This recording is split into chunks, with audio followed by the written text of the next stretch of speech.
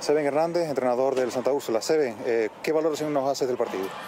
Bueno, pues partido bastante igualado, un poco lo que, lo que habíamos planteado. Sabíamos que, jugamos ante un rival con, con un potencial defensivo muy a tener en cuenta, de hecho lo demostró, es muy complicado hacerle daño.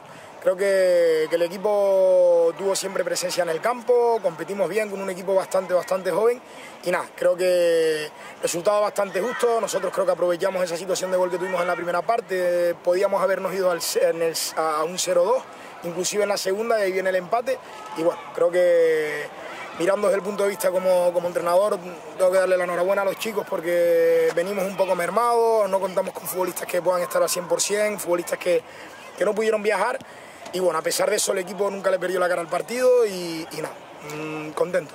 Expulsión, eh, ¿qué valoración haces de esa expulsión? ¿Cómo, cómo la has visto? ¿O qué te nada, no, no, no, no estoy de acuerdo. Creo que el, árbitro en línea interpretan que yo estoy eh, reclamándoles algo y, en una falta sancionada a nuestro favor, bueno, en, fuera de juego, donde yo lo que hago es exigirle a, a uno de mis futbolistas la vuelta que se implique más en su labor defensiva.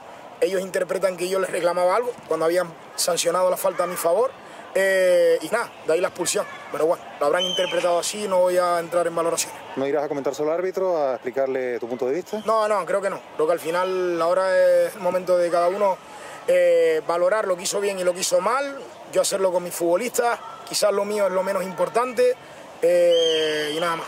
Suerte.